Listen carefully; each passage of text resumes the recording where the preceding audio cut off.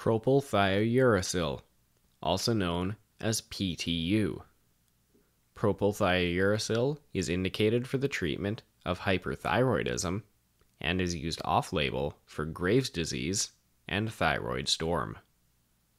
Propylthiouracil works by inhibiting thyroid hormones. The therapeutic classification is an antithyroid agent, and the pharmacologic class is a thioamide. Special indications for nursing include that propylthiouracil may cause or worsen hepatotoxicity, nausea, vomiting, and agranulocytosis.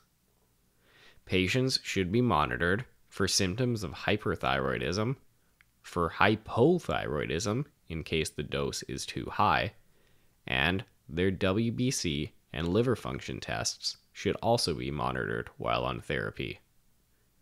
Patients should be weighed frequently, as this can be a marker of their thyroid function. And in rare cases, propylthiouracil can cause leukopenia, thrombocytopenias, and jaundice.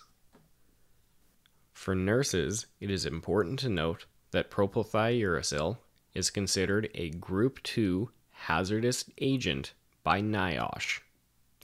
This means that appropriate precautions for the handling of this drug should be undertaken, including single gloves during the unpackaging and administration of this agent. This has been another episode of the nursing.com MedMaster podcast. My name is Jon Haws, RN, CCRN alumnus, and I want to give you our free download of the 50 most commonly prescribed medications.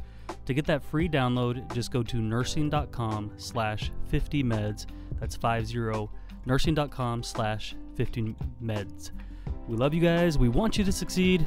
That's why we provide clear, concise, and visual supplement for nursing school and the clinical floor. We love you guys. Go out and be your best selves. Happy nursing.